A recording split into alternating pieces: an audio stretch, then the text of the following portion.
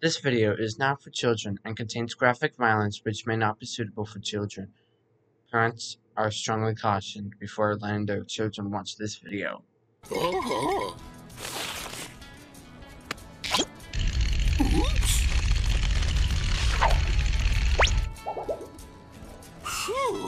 You ever get the feeling something really bad is about to